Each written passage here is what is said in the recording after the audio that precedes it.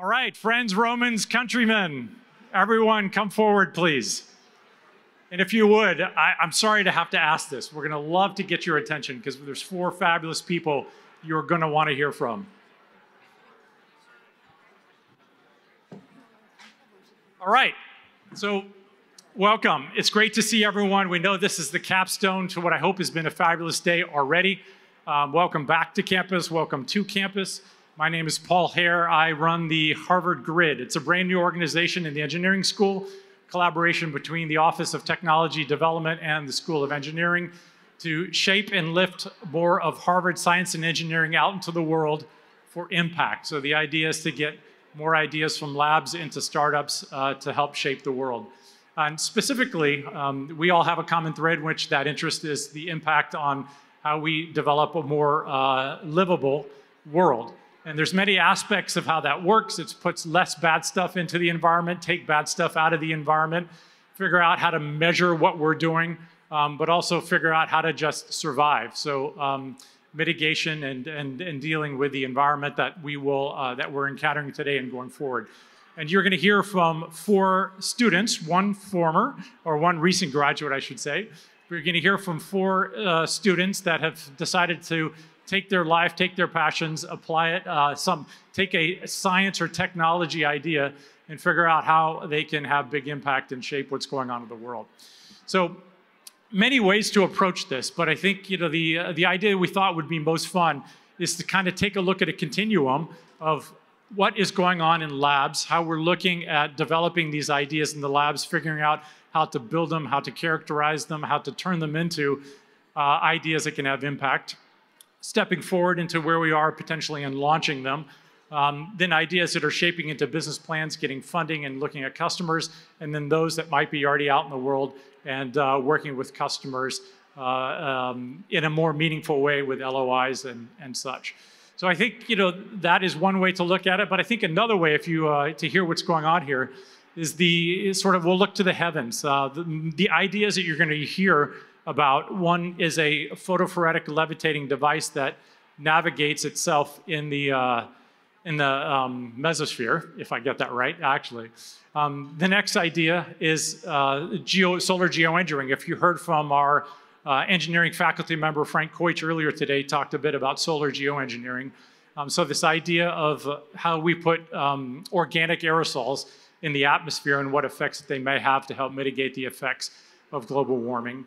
And then we come down to the terrestrial or the troposphere, where we'll hear a little bit about uh, technologies to um, manage agriculture in a way that is more sustainable to not only provide uh, food supplies, but also to, uh, to manage our resources much more effectively. And then finally, um, a term you heard here, the aquasphere.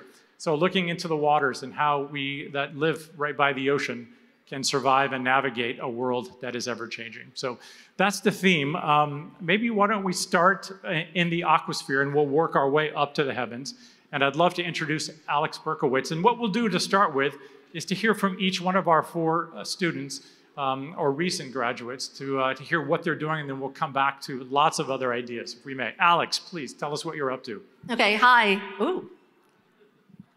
I have a loud voice, and this is it's pretty serious. Um, it's so nice to see everyone. Um, my name is Alex Berkowitz. I'm the founder and CEO of Coastal Protection Solutions. Uh, we help protect coastal communities uh, by a product called the Wave Breaker, which is a 300 foot wave speed bump that decreases the height and velocity of waves uh, so that it um, doesn't, the waves don't get to shore and uh, destroy property and lives. And while doing that, it creates, uh, produces uh, wave energy. So. Terrific. Thank you. All right, let's take the next step up to the uh, troposphere. So let's hear, Max, what you're up to. Hi, everyone. I'm Max. I am an MS MBA student currently at Harvard. Uh, I'm a co-founder and COO of AgX, and we build devices that make livestock farming more efficient and sustainable. So our, our flagship device, the AgMuster, is a collar for cows um, that can virtually fence them and virtually muster them to enable grazing, uh, grazing techniques that reduce carbon emissions by about 30%. Terrific. Thank you, Max. Let's go one step up now into the stratosphere. Please, Corey. My name is Corey Pederson. I am a PhD student in the engineering school. My research is focused on understanding the chemical kinetics of aerosol particles in the stratosphere. This includes naturally occurring aerosols, but also man-made aerosols for the purposes of solar geoengineering. So my research is focused on reducing the uncertainty of uh, injecting these particles into the stratosphere as a form of uh, climate engineering. Fantastic. And Ben, before we get to you, just I had to learn all this before we started too. So the aquasphere, I think we all understand, is our oceans. I think the troposphere, which is sort of terrestrial in the first so many kilometers. Tell us what is the stratosphere? Yeah, the stratosphere is the portion of the atmosphere that is about 10 to 18 kilometers from the surface. Okay. Sometimes airplanes fly in there, only on very like high latitude, but generally nothing is in the stratosphere. Got it. Thank you. And then let's go one level. Tell us what you're up to. Yeah, so thanks so much for having me, and thank you, Paul. Uh, my name is Ben Schafer. I'm a recent PhD graduate from School of Engineering here, um, and I'm the co-founder of Microavionics. So we are developing a new propulsion mechanism that enables flight in the mesosphere. So that's one layer up from the stratosphere, and it's a region of the atmosphere that nothing else can fly. It's too high for planes, but it's also too low for satellites. Um, our devices levitate in this region of the atmosphere using no onboard power or photovoltaics or fuel um, through kind of an obscure physics mechanism called photophoresis. And uh, we are going to use these platforms as a way of collecting climate data in this region. And that climate data is very novel because nothing else can fly there. Fantastic. And I think for sort of the next step, by the way, audience participation. These mics are mobile. So you guys know who Jerry Springer is or was and the show that he used to, to host? So that is going to be the format. So eh, no one is going to be safe all right, so when we're done here having a little discussion, we'll be coming around. I would love to know what is on your mind. You're going to hear a lot less talking from me and a lot more talking from you. So think about what you would like to ask to these wildly impressive students, uh, given the work that they're doing and how it will have impact. Um, before we do that, why? What is it that uh, sort of motivated you to do what you're doing? You have degrees to take you anywhere and to do anything. Why is it you're focusing on what you're doing? Ben, let's, let's go in reverse order. Sure. So um, I actually got into the science behind what we're doing at Microavionics um, through entering uh, my grad school research studying geoengineering, what Corey's working on. Um, my advisor at the time uh, had written a paper that talked about using engineered structures for geoengineering um, that could be used as basically little mirrors to reflect sunlight back into space, rapidly cooling uh, the Earth's surface. And they would uh, the, these particles would hover in place using the same mechanism that we are now. Um, we just asked the question, could you use the mechanism of, of this levitation to loft something bigger than an aerosol particle? And recently in lab, we found the answer to be yes. I started studying this because I was passionate about using physics, which is my, what my background is, to solve some of the most pressing issues in climate change. And it turned into um, something that could not only be commercially viable, but also have a dramatic impact on collecting climate data and thus influencing the way we look at climate models and, uh, and weather prediction. Terrific, thank you. Corey, how did we get to the idea of solar geoengineering and why you? I've always been very interested in the climate system and a lot of the discussion around climate change and climate system is rather depressing. Uh, it's pretty obvious what's going wrong and a lot of the conversation is about what will go wrong, when it'll go wrong, things like that. And so solar geoengineering is very exciting to me to um, not be part of a solution, but be part of a response to climate change and um, hopefully produce some good through it, whether or not my research says to do it or to not do it, but hopefully be able to give policymakers the information they need to make an informed decision. Wow, all right, terrific, very exciting. Max, how did you stumble upon this idea of corralling cows? Um, yeah, so I love food. Um, I think you know my my favorite thing to do in life is is cook with my brother and host dinner parties. I um, I worked for a few years in aerospace engineering, and around that time, I was getting a little bit disenchanted with the industry. Um, I was spending a lot of time at farmers markets, and I went to a small vertical farm in Brooklyn. We were growing uh, salads in a warehouse, and that's kind of where it clicked. The the passion and the science and the engineering all kind of came together. Um, and so I, I left the, the vertical farm after three years and started building in the uh, kind of other side of agriculture, animal ag. Fantastic. All right. So now we heard that Ben is developing a device that photophoretically it levitates itself. There's no power, there's no motor. The device just hovers. Do you believe that? Yeah? All right, prove it. So I think in all cases, Alex is talking about mitigating large waves before they crash and do damage on the shore. Um, Corey is talking about sort of reinventing a full layer in the atmosphere so that we have less of the damaging sunlight that, that ultimately might enter the, uh, the lower regions of our atmosphere. And finally, Max, you're talking about training and managing animals in a way that is not only sustainable for the environment and, and for the grass, but also for the animals themselves. What do we think? Is that possible? My classmate, Gracie Amos right here, my classmate from uh, business school. What do we think?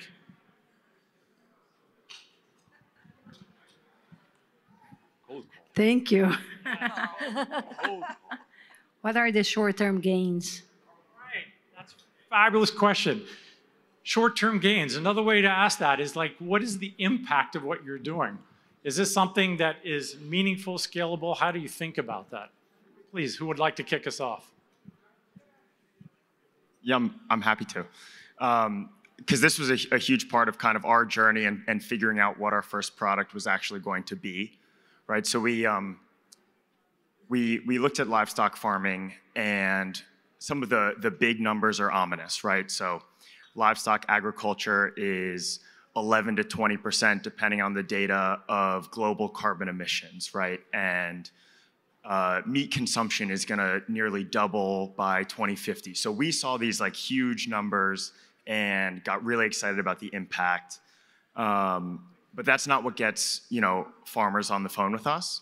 Um, and so we actually started with uh, biomonitoring for cattle, and we were trying to build devices that would alert farmers when a cow was going into labor or if they were exhibiting early symptoms of disease and we're kind of trying to find like the right on ramp that would immediately hit the farmer's bottom line. And it took trial and error. Um, we built we, we built some of these devices. Um, we built you know like quick sloppy landing pages collecting information from farmers. Um, and then what what found it was was virtual fencing, where we figured out um, rather than 15% of, of global emissions, the number that mattered, mattered to the farmer was $10,000 to build a quality kilometer of fencing. And we could do it for, you know, 20 bucks per head of cattle.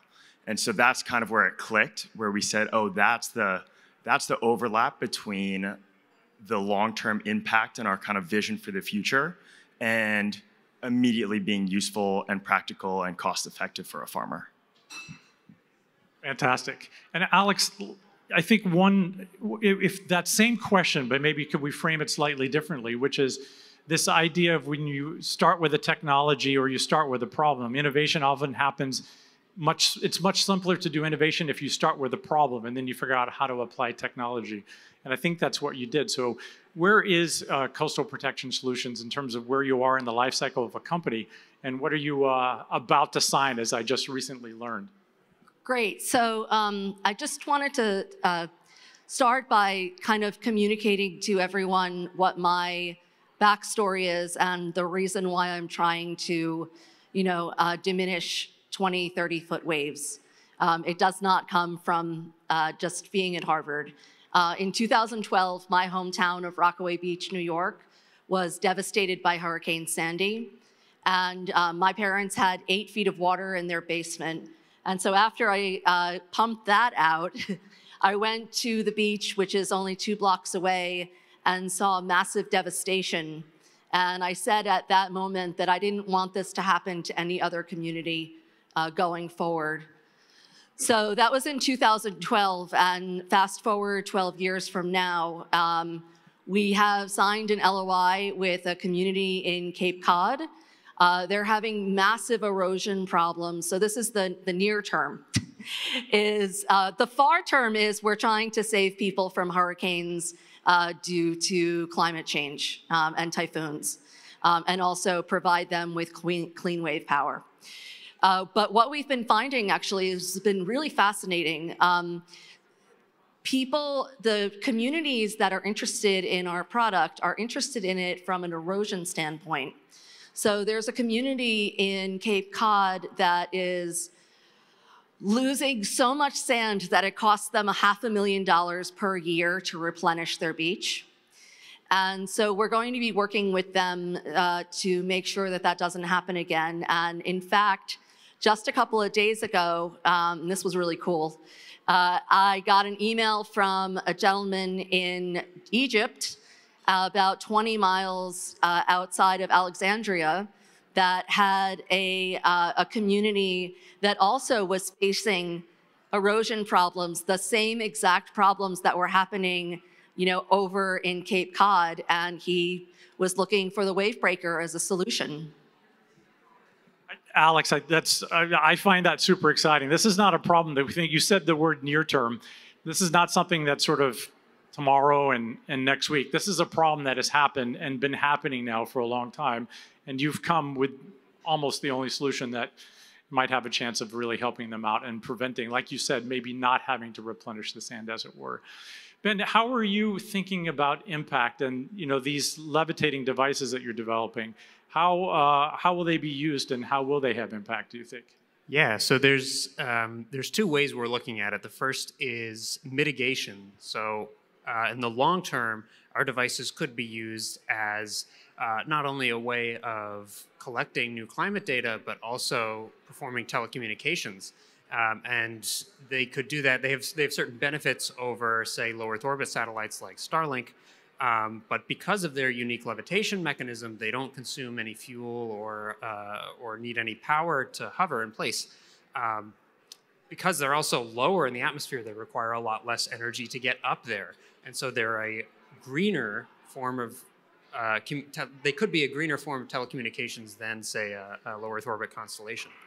Um, the other way we look at it is through adaptation. And that really is in that the data that we collect uh, in the mesosphere could be used to improve climate models, uh, weather prediction. All uh, those things have downstream effects on a huge number of industries, including agriculture, aviation. Um, we're even looking at insurance um, as one of the major uh, consumers of the data that we collect. So I think there's two different ways of looking at it, and both of them could have significant impacts probably uh, it's a it's less clear to quantify those impacts, uh, you know, compared to something like a, a, speed break where you can see the fiscal benefit that a, a town that uses them might have. Um, but yeah. That's, I think it's very clear to see how that's quantifiable. Thank you. Corey, your work with these uh, microparticles or these particles, these organic aerosols, how are you thinking, you know, tell me, tell us what you're doing right now in the lab to characterize them. How are you thinking about structuring them and what their impact could be. How are you thinking and measuring those things? Yeah, so solar geoengineering is generally researched on uh, SO2, uh, the gas that volcanoes emit into the stratosphere. That's our natural analog to solar geoengineering. Um, but there are a lot of downsides to using SO2, such as it warms the stratosphere. Um, it also causes ozone loss.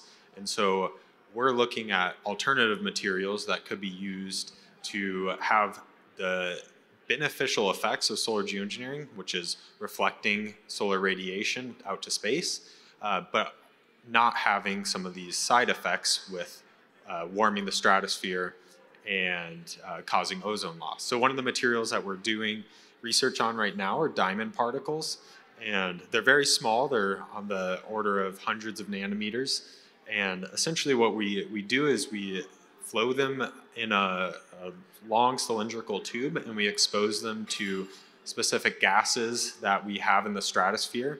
And by understanding the reactions that happen between these gases and these aerosols, we can uh, understand how these particles will impact our ozone layer. So we're essentially looking to reduce the or understand the risk to ozone that these alternative materials have.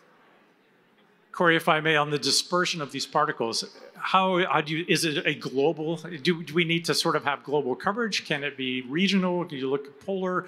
How, are, uh, how have you thought about what makes the most sense to have the right impact?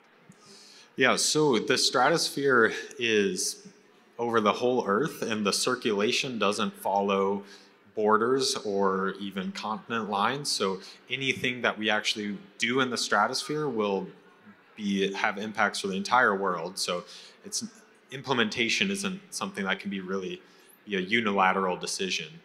Um, and so there are there are a lot of different injection schemes that have pluses and minuses but all of these depend on climate models to understand how uh, the aerosols play out. Um, but we, we, what we really need is observations of how this would happen, but we are still quite far from that. Thank you. And as I mentioned, I hope everyone is thinking of questions, or at least a handful of people that are brave to uh, ask our brilliant uh, students and researchers here um, and entrepreneurs. And that's maybe the, the last question from me, at least. Max, the, um, this device that you have, it delivers a gentle shock to the cow, so you're able to control behavior. Where are you right now? To tell us what you're doing and how you're thinking about starting, but then scaling. Yeah, so as thrilled as I am to be in Boston here with you, my um, my co-founders are also having a bit of an adventure. They're in Australia right now, uh, doing some testing on a few ranches, um, and so we're kind of in that um, transition from it works on the, on the benchtop scale in the engineering lab to actually getting these devices on, far, on farms and collecting feedback from farmers. Um, at which point, you know, by the end of the summer, we're going to hopefully uh, initiate our fundraise and kind of uh, take off from there. What does that mean, fundraise? How are you thinking about that? That you know, how much would you raise, and what does that buy you in terms of runway? Yeah, so um, we, you know, especially in the current fundraising climate, uh, we really prioritize, you know, fiscal sustainability. Um, we are trying to raise just a few hundred thousand dollars uh, to take us from, you know, something that I sewed myself in the engineering lab to something that we can actually productize and is, is ruggedized for a farm um, at which point we'll kind of onboard. We have a handful of farms who are early trial partners and using our software platform right now. Um, we will onboard them to our hardware product, uh, at which point we will, um, you know, hopefully be be cash flow positive and able to grow via via word of mouth and region, um, and then raise against the additional data that we're going to collect over the next uh, couple months with those early customers. Fabulous, thank you. So, friends, you have a landscape architect, a master's in landscape architecture from Harvard that's working on uh, tidal mitigation. We have a really uh, recently minted PhD, Dr. Ben Schafer. He just defended and commenced with his PhD from Harvard just recently. Uh, yes, absolutely. That is a big deal in academia that is a that is a big milestone. So congratulations, Dr. Schafer, um, who's working on solutions for uh, photophoretic levitating devices in the upper atmospheres. Max, uh, second year MBA student, working on uh, clever devices to help sort of herd cattle in a way that is a sustainable way to develop land and uh, food. And then, of course, Corey Pederson, who's working on ways to put novel devices, if we can, or novel materials in the atmosphere so that we can make this Earth uh, more inhabitable. For Harvard students and researchers walk into a bar, what questions do you have for them? Very impressive. Um, I'm also an entrepreneur for, um, for, for some time, but I got a question about the cows. Um, how exactly do they respond? Is it a buzz system on them that they don't, is it invisible fencing concept that you have there? Are you collecting geodata of just the ring being in that location? Uh, I'm, I'm not quite, I, I don't really get the, the gist of what, what you've created that someone else could not create just as easily. Yeah, great question. So I am slightly limited in what I can disclose because we're in the patent process for, for some of the technology. Um, but we've developed a, a humane stimulus mechanism that can uh, guide cows in a specific direction. Um, and that allows a farmer to essentially draw their own border um, around their property, and, and we will fence the cow in, and then we will um, use that same mechanism to muster the cow around the field uh, for, for intensive rotational grazing, a more sustainable grazing practice. Um, so our kind of competitive edge, technically speaking, um, is in part that uh, that stimulus mechanism, and then our uh, mesh communication network um, that uses proprietary technology that allows us to um, have a less expensive solution and a more reliable solution, especially in you know some of the more remote parts of Australia that won't have uh, cell service, for example. Um, and so, if you look at the market right now, there are some players who are trying to do virtual fencing. Um, they are banned from many parts of Australia because they use uh, high voltage uh, electric shocks, which are less humane. Um, and then they also require, you know, a $50,000 investment up front for a communication tower. Uh, both of those things make the technology non-viable, in our opinion. Um, and so those are those are kind of the big differences that uh, bring farmers to the table and get them excited about the technology. Hi, Max. I'm still not clear on the ultimate objective. If you can get the cows to go anywhere you want, what is it that you're going to achieve by getting them to go wherever it is that you want? What's the end game? Sure. Yeah. So, so I guess I'll put it in the perspective of a, a rancher in Australia. Um, if I am on a farm in New South Wales and I have 200 head of cattle, um, I spend about uh, about about fifteen thousand dollars a year on simply fencing repairs and installing new fencing. Um, additionally, I'll spend you know somewhere in the tens of thousands on labor just to muster the cows around, um, and I'm using grazing techniques uh, that limit the productivity of my land. So, you know, because cows are fairly you know, stagnant creatures, they will overgraze one portion of my grass and erode that soil, um, and then they won't eat, you know, other grass across the field. So by deploying this technology, I can actually have more cows on my farm um, and make my farm, you know, more cost-effective, more efficient. Um, so the the you know numbers based off of our initial data and research from Indiana University indicate that a farmer with only 200 head of cattle will earn about $30,000 more per year uh, by deploying this technology, saving money on fencing and improving the overall productivity of their land. They can have about 20% more cows on this land uh, by grazing them in a more efficient manner.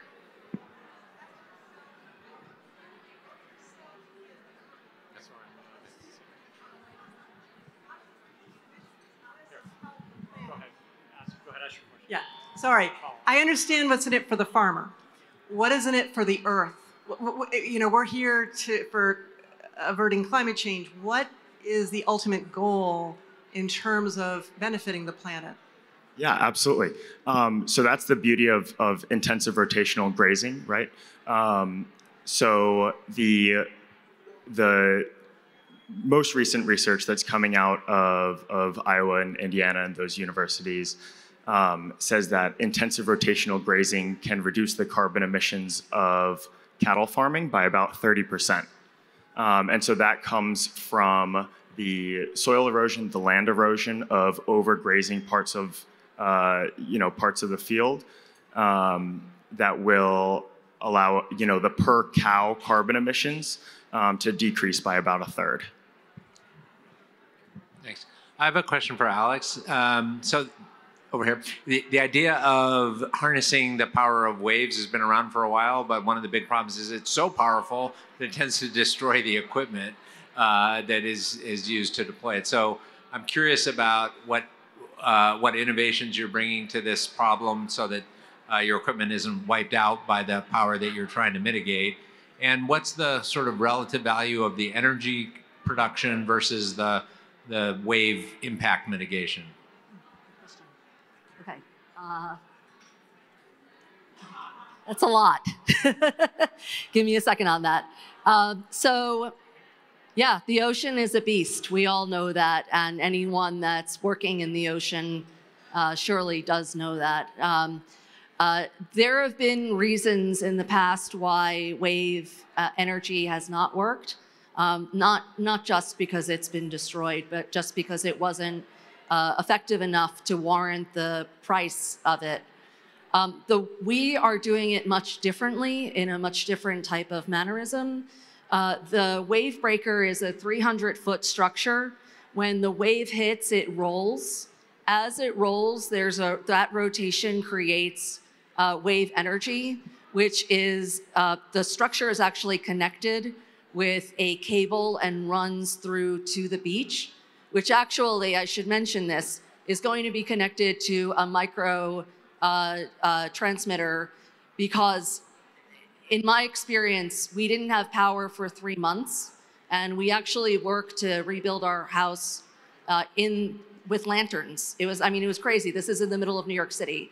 So my my point in this, and my really my point in the wave energy, is to be able to have a structure that um, allows coastal communities, many which are uh, don't have energy very often, um, but also ones that uh, have uh, outages to get power. That's the difference. This is not necessarily a machine for making money. It will make money, but it is not, that is not the high priority here.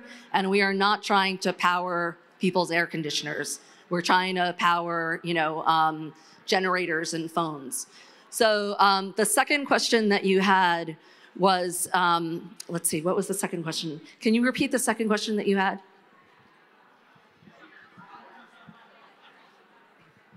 I, I think you you may have answered it. It was uh, the relative value of sort of beach protection versus the energy production. That it, it sounds it sounds like you're focused on sort of emergency generation and protection more than energy generation as a, a kind of mass uh, energy source. Is that right? Yes and no. The priority is emergency. The secondary is uh, an actual energy source. And um, the, uh, the priority with the wavebreaker is that we don't have to have buildings and properties destroyed and have to rebuild that because the, car, the uh, CO2 emissions that come from rebuilding is absolutely astronomical. I mean, you wouldn't believe it. Um, and so the, uh, the energy portion of it is the same thing. It's trying to decrease carbon in the atmosphere. Wonderful, thank you. Yeah, hi. So I have a general question for the panelists. So uh, I wonder which part of your Harvard education you feel benefit you the most uh, for your entrepreneurial career, and which part of education can be improved better for future Harvard entrepreneurs. Thank you.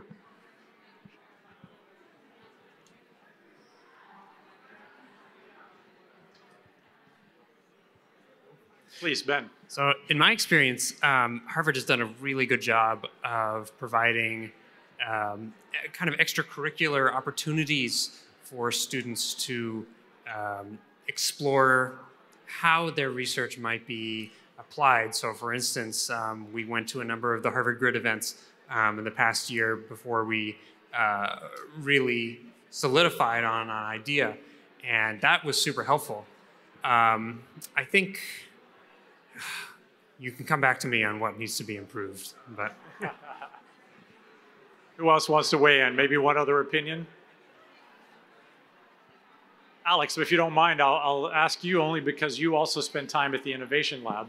I don't know if you have any reflections on. Uh... Yeah. Um, so for me, uh, coming to Harvard was pivotal in the development of my product, not necessarily because I developed physically my product here, but I developed the concept. I was, um, you know, allowed to go to um, incredible en engineering professors and just ask for their advice on something. Also, um, I've been involved since the beginning of uh, this journey, I would say. I hate that word, but it's true. Um, and I've been involved with the Harvard Innovation Lab, which is across the river.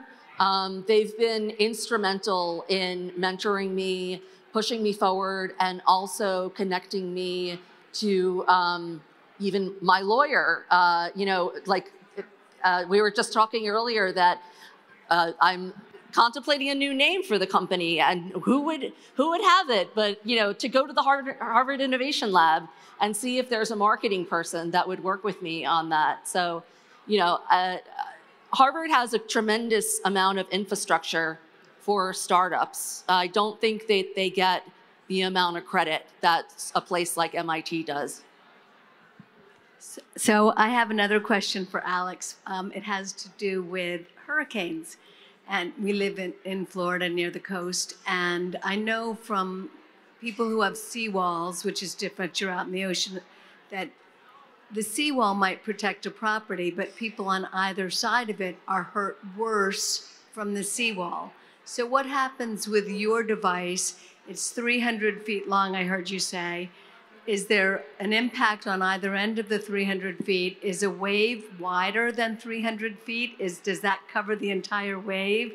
Is it movable? Because I know when there's a hurricane coming, it's always, they think it's going to hit here, it hits there. I mean, what, what happens actually in practice? Okay, so it is movable. It's actually considered a, a semi uh, temporary structure um, that can be unscrewed and moved. Um, if we need to move it for a, a season to you know just get it out of uh, the, the view of people, or if there's um, some currents that are uh, developing that we need to move it for to optimize uh, its efficiency.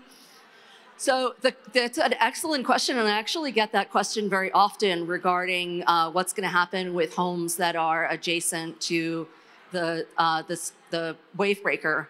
And in fact, I was in Miami about two weeks ago and spoke with, met with a innovator that's working on uh, seawalls. And so we had a really long discussion about this and um, where seawalls, um, it's a little bit difficult to explain, but the way that the wave breaker stands is not, it doesn't cover one whole space from the ocean floor to the top. It's a structure that is buoyant and sits on the top so that the water, you know, the waves could go around it. Um, but that being said, truthfully, um, we are in testing right now to make sure that we have all our neighbors of our customers covered um, and so we don't won't do any harm to them. Right, thank you. By the way, if I may, everyone, um, the, this reception will continue, I think, till 8. If I could be so bold as to ask the folks in the back who wish to network, that's absolutely fine if we could keep the noise level down. Just a little bit, please. Um, this we, will have to whisk away these students to another event in about 15 minutes, so bear with us. Thank you. Uh, hi, I spent Sandy in Battery Park City. And I have a curious, it comes to the seawall thing. Could this, they're spending billions of dollars rebuilding oh, the, the big wall in lower, lower Manhattan. There's a very clear economic proposition. It's called ex expensive real estate. I mean, could your device go along in front of the seawall? Bulkheads get damaged. And also, my second question is is it also a tidal? Does it create energy through tides? So, um, the Big U is one of my. Uh, fascinations uh, and, and bane of my existence. Uh, I actually find it very stressful because it only covers the high end real estate and really stops right at that area, like on the east side, the Lower East Side, that you know has those communities that are lower income. It's not fair. And um, so the wave breaker can not only you know help with the big U, Big U doesn't need that much help. They've actually constructed it really well. I've actually met with one of the engineers that worked on constructing it. Um, they've done a solid job. What I'm concerned about are those communities that are around Manhattan or around Brooklyn that need protection and they don't have the funding for it. And that's where the wave breaker will come in because the wave breaker is actually cost effective. Hi. Thank you for your comments. Uh, I'm on the board of HBS Angels. I'm happy to talk to each of you about funding if you guys are looking for funding. I've seen thousands of startups, and I'm always curious about the founder's story and the founder's journey and how mindset and purpose comes into play. Number one, I applaud you for not doing something something .ai, right? Because everybody's doing AI. So the question is, why are you doing what you're doing, and what hope, kind of legacy and impact do you hope to leave if your company becomes a unicorn and exits after that? Let's hear from all four, please, and whoever wants to start. I'll, I'll, I'll be the chicken. Um, so, you know, earlier I was mentioning a little bit of my story about uh, the hurricane in 2012. The thing is, um, my neighborhood is a uh, it's a middle class neighborhood. It's a very normal American neighborhood. It's there. It's nothing in the middle of the Pacific Ocean. There's nothing, uh, it's, it's very average. And what happened to my neighborhood could, in the future with climate change, happen to any neighborhood in the entire world. And that's terrifying to me because there's about 500,000 um, uh, coast, coastline in the world, and about half of it is inhabited um, by cities and by towns. So my goal in doing the work that I do, and I remind myself this when the tough times go happen, because we all know if you're a startup, there's lots of tough times. And I re remind myself and I say, I don't want any other community to suffer like mine did. Whether it's in the United States or with it's in Southeast Asia, I don't want them to go through that. And if I'm a unicorn, then that means that um, we will have figured out a solution to live with hurricanes and climate change on the ocean. Thank you. Um, yeah, so uh, for me, you know, I, for the bulk of the time I was in grad school, um, I was viewing what I was working on as purely an academic venture. Um, and we got some really encouraging results that these structures that we're making could fly, um, you know, a year or two ago. And uh, it wasn't just me, my uh, wonderful co-founder, Angela, uh, was also part of this journey. She's happy to take questions later. Um, but we went to a conference to share some of the work that we've done and found that people were really captivated by uh, just what doors were opened by our research. And at that moment, that, that was really when we decided to take the leap and say, let's get this out of the lab. Let's see if we can actually um, get this in the skies. Um, in terms of legacy, I think you know what we have here might really open up uh, a whole new region of near space uh, that hasn't been explored before.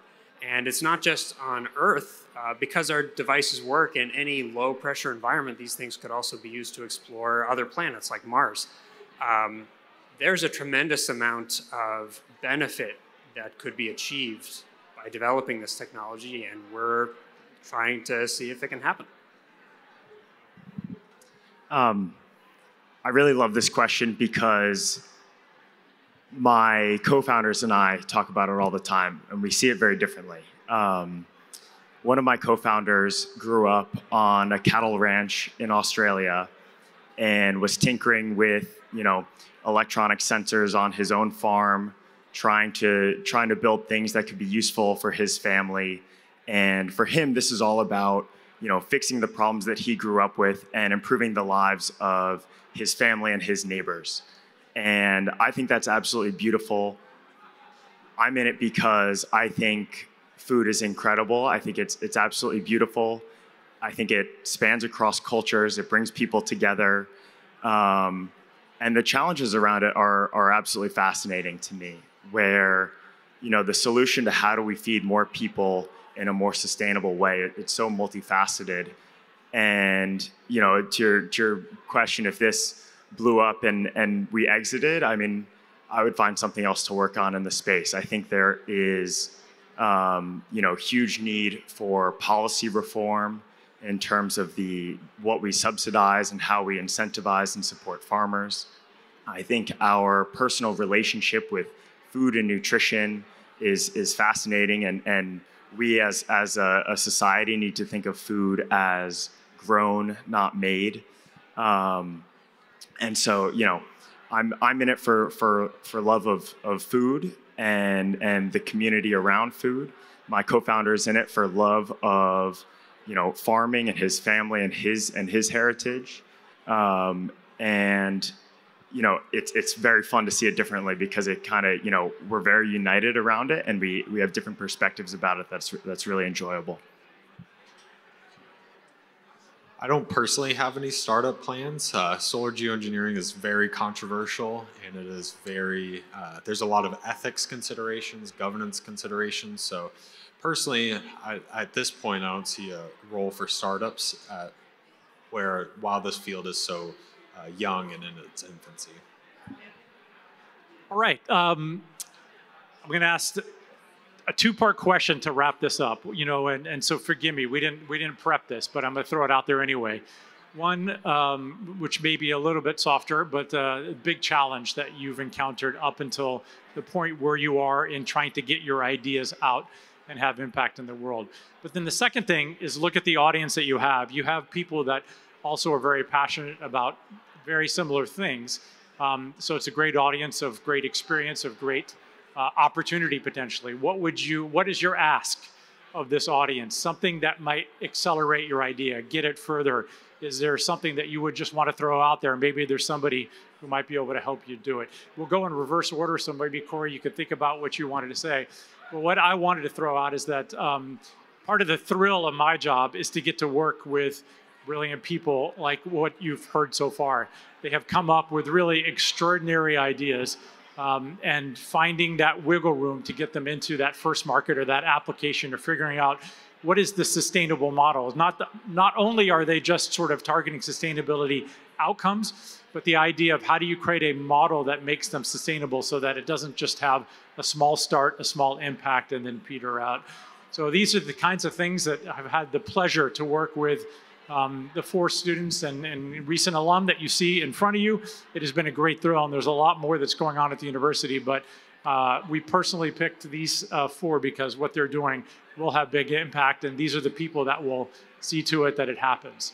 So now, Corey, if I may, sort of what has big, uh, been a big obstacle, and you might have already just said it, but what has been a big obstacle that you've, uh, you've encountered so far? And then what is it you may want from this audience, if something that could help you? Yeah, so a big obstacle is that the, the conversation or the topic of solar geoengineering is can be treated as a taboo. That um, there's a lot of push to just not even research it, not touch it, and just call for an all-out ban on doing any form of research, let alone implementation. So um, that while I don't have I don't experience that hurdle personally, but that that is certainly a very large hurdle.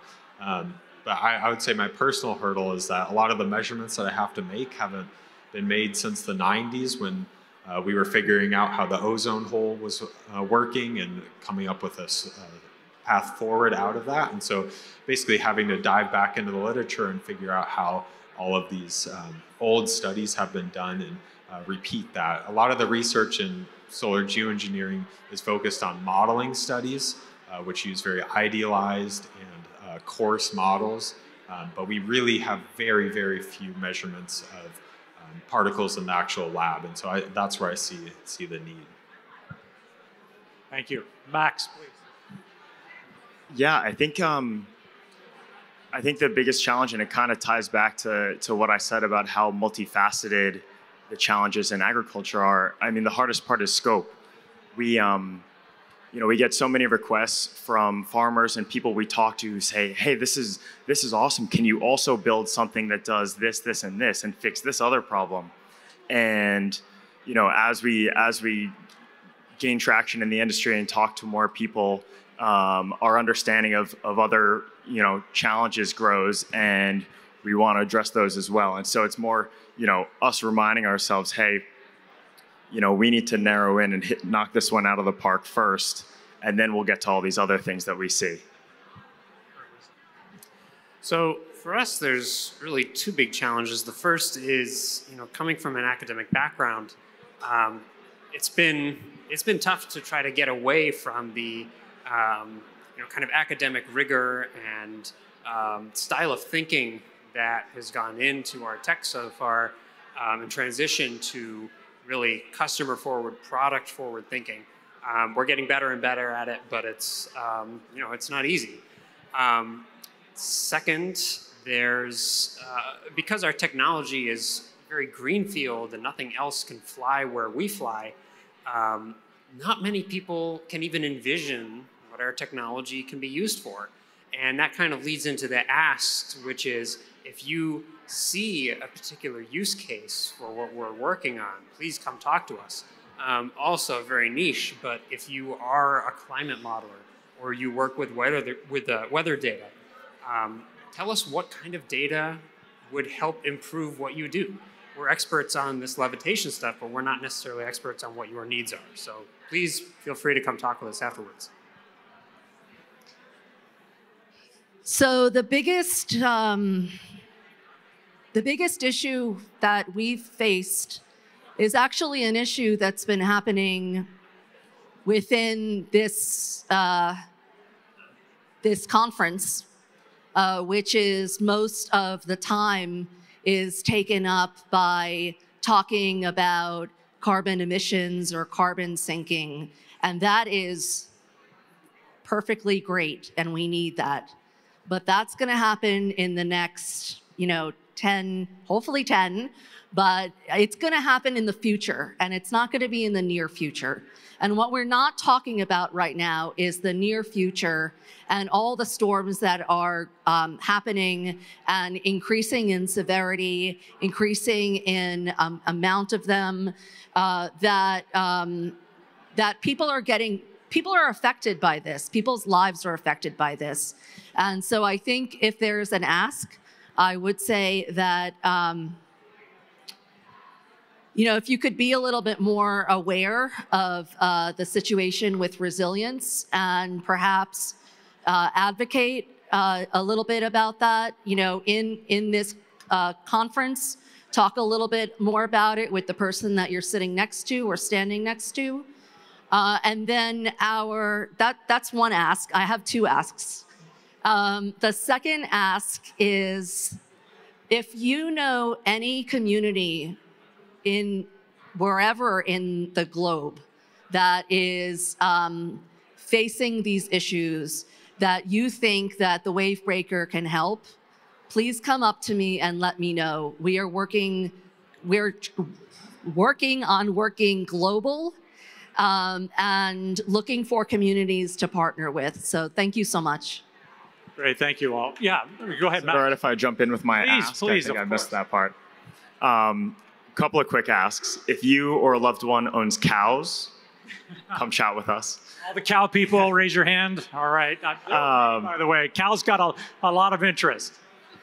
If um, if if you if you are an ag tech or climate tech investor, um, like I said, we're gearing up once we have our um, you know LOIs and and and sales agreements with our farmers and our trial data. We're going to try and raise off of that at the end of the summer.